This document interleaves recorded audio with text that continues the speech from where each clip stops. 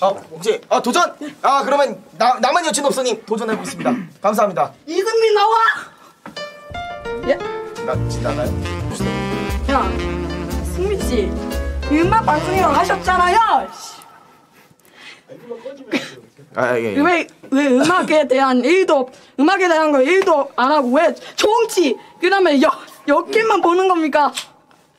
당신, 음악 유튜버라면, 음악 방송만 한다며.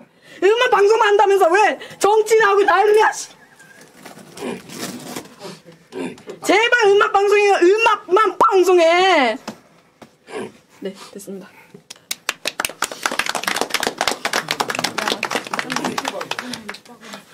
노래 하러 나온 것 같은데요.